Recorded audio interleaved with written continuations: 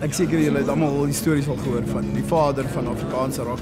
Piet is die godfather van SA rock.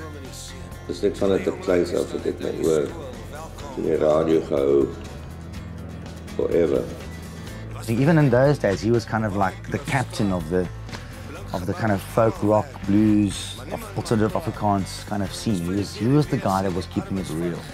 Wat mense nie uit besef nie. So daar het hy groot deure oopgemaak daai tyd. Of afgebreek som.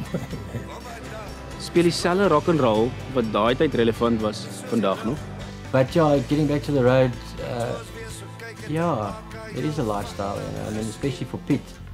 Um, I mean, you can see the way he, the way he's lived his musical life. It's, he's always toured, you know. You make an album and you tour. Maar dit is vir my nog die belangrikste dat die live gigs, jy weet. Daai energy saam met 'n paar dudes. Dan is dit uh, magic. En die hele bloody spul by die SAIK.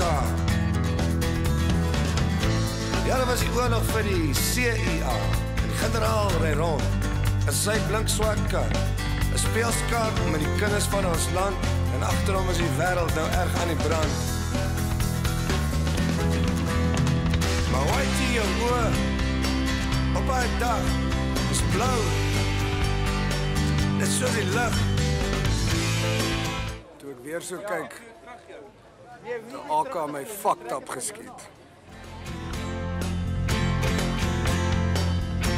Goeienaand generaal. Goeienaand generaal.